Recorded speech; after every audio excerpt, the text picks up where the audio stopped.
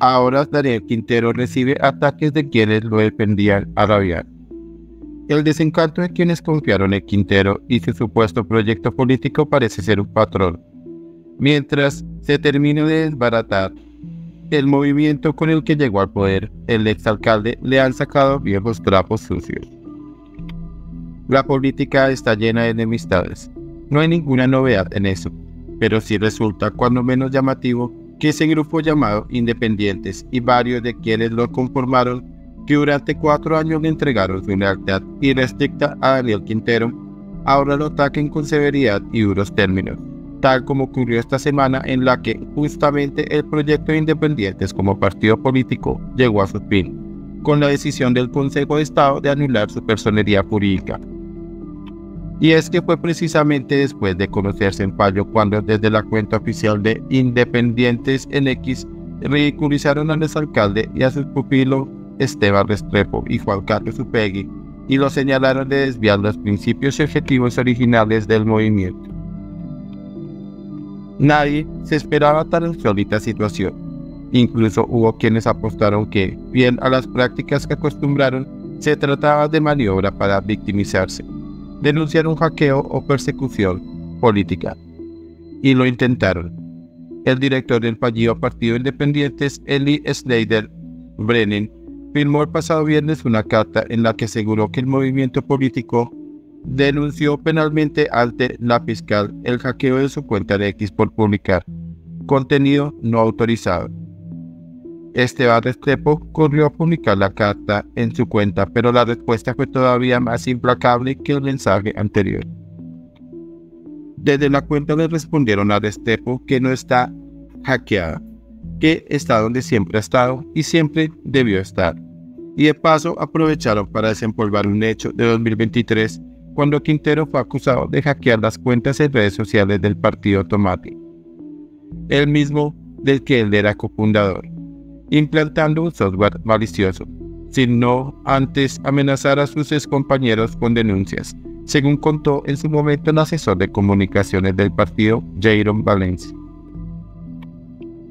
Todo esto ocurrió cuando el partido conocido como los Indignados dejó de servirle en sus aspiraciones por llegar al Congreso, lo cual nunca logró a pesar de haber conseguido aval por un partido tradicional, el liberal.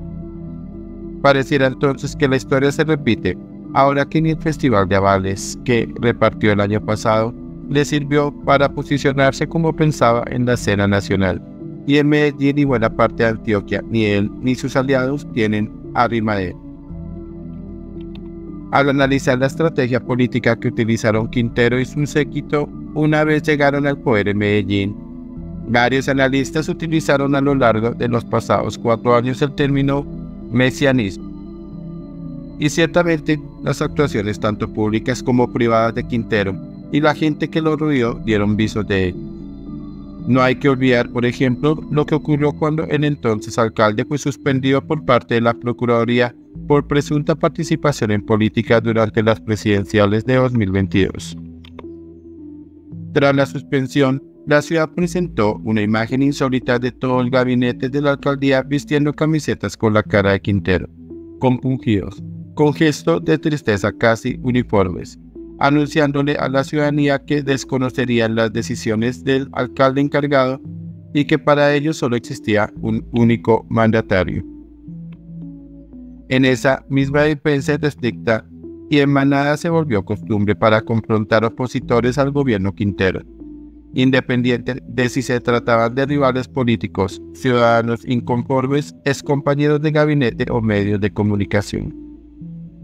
Por ejemplo, ante investigaciones periodísticas que adelantaron durante los cuatro años de su mandato el colombiano y otros medios contra Quintero y altos funcionarios por presuntos hechos de corrupción, dos de los que conformaron siempre la primera línea de defensa y ataque fueron Santiago Bedoya y Ana María Valle.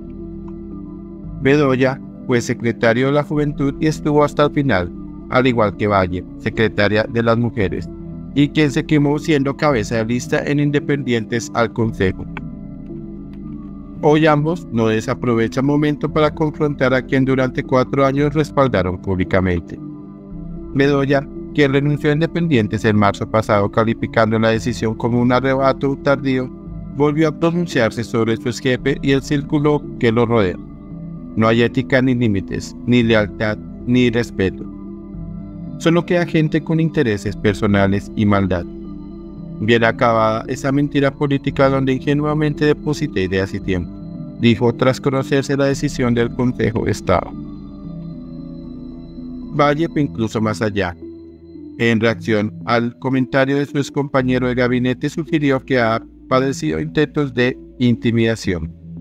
Atenta, eso sí, a lo que me pueda pasar, que ya les estamos midiendo los alcances y son gente muy peligrosa, dijo. De manera privada, otras personas que confiaron en el proyecto político de Quintero también se lamentan de haberlo hecho.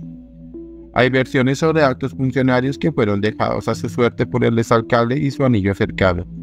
Y tras ver todas las puertas cerradas en Medellín y Antioquia, tanto en el sector público como privado, terminaron en Bogotá con la hoja de vida en las manos pidiendo por sí mismos una oportunidad en el gobierno nacional.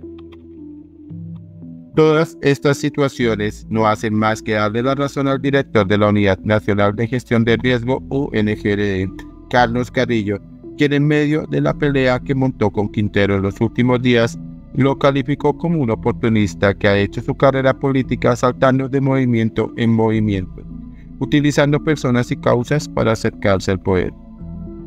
Carrillo recordó que Quintero ha sido un supuesto irreverente tiratomates y también ha sido santista, pero a su vez ahijado de la más rancia clase política del país, representada Luis Pérez y César Gaviria, y además de todo, supuesto petrista.